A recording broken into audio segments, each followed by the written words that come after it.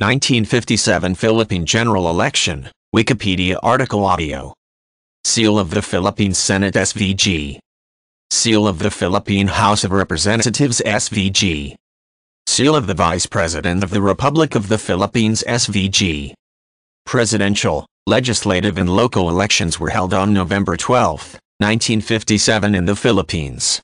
Incumbent President Carlos P. Garcia won his opportunity to get a full term as President of the Philippines after the death of President Ramon Magsaysay in a plane crash in March 1957. He running mate, Senator Jose Laurel, Jr. lost to Pampanga Representative Diosdado Macapagal.